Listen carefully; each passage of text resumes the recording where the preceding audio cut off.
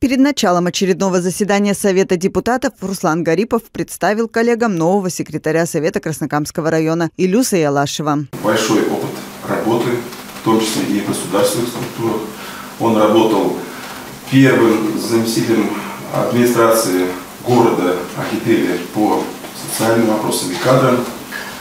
Также у него опыт работы большой и в юридической сфере. После этого началась основная работа Совета обсуждения текущих вопросов. На повестке дня введение штатной единицы информационного центра, утверждение структуры администрации района, обновление информации по району. В 2017 году были внесены последние изменения, нам нужно было все это обновить. На сегодняшний день эта работа проделаны. Я прошу вас утвердить. В завершении заседания Совета глава администрации района рассказал коллегам о своей командировке в зону СВО, куда он сопровождал гуманитарный груз для краснокамских бойцов. В республике очень организована эта работа. То есть э, Госкомитет МЧС, гуманитарный конвой, да, это очень быстро, это очень тяжело, практически не останавливаясь, без каких-то либо ночевок, доезжают э, до соответствующей административной границы. Для гуманитарных конвоев там зеленый цвет, быстро это все проходит, хотя у нас там было достаточно много и фур, и других единиц транспорта. Действуя четко и неукоснительно соблюдая правила инструктажа по безопасности, колонна добралась до места назначения. Глава отметил, что его поразило, как ярко местные жители новых республик выражают преданность родине. Мы проехали Донецк, Мариуполь, Мелитополь, Э, то есть крупные города. И что хочется сказать, я такое количество российской символики, наверное, в жизни никогда не видел.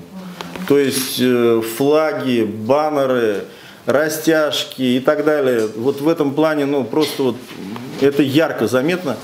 Везде соответствующие блокпосты и очень грамотно они расположены, то есть э, сформированы. При передаче посылок из родного дома бойцы военной части от души благодарили земляков, сопровождающих гумконвой. Они очень благодарны. То есть вот та помощь, которую мы оказываем, им очень нужна.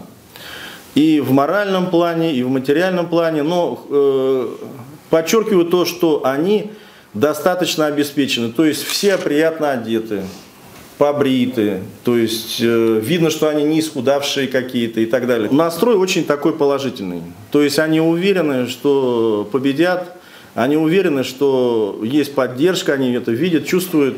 И то, что это вот идет э, не только от взрослых, но и от детей, и от людей разных социальных групп, и, так скажем, э, возможностей, вот это им очень радует. То есть не только родственники прислали посылки, а то, что совсем незнакомые люди, там, добровольцы, или э, за счет э, средств вот этого благотворительного фонда, вот это их, в общем-то, подпитывает вот этой энергией. И как заверил глава администрации, поддержка и помощь нашим бойцам, как и прежде, будет носить систематический характер. Район и его жители всегда готовы поддержать ребят, которые сегодня, рискуя собственными жизнями в сложных условиях, стоят на защите Родины.